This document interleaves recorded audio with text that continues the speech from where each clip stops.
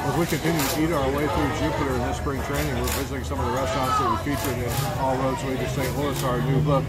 Tonight we're at Dune Dog Cafe. It's on A1A here in Jupiter, recommended by Mike Trent, who's one of the local TV anchors here on the uh, NBC affiliate in West Palm Beach, also a native of Hermann, Missouri, so good friend of ours. So he recommended this place, but we've also been here several times ourselves. So great seafood. We're having the nice uh, shrimp, uh, and I'm having the crab cakes.